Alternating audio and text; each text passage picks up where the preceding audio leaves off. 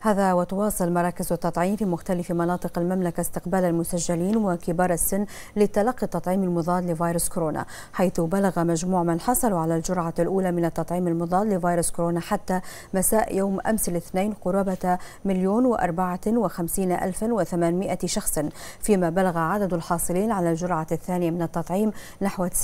وثمانين ألف شخص هذا وقد أكدت وزارة الصحة عبر قنواتها الرسمية أهمية مواصلة إقبال الفئة العمرية من 12 إلى 17 عاما على أخذ التطعيم المضاد لفيروس كورونا حفاظا على سلامتهم وسلامة الجميع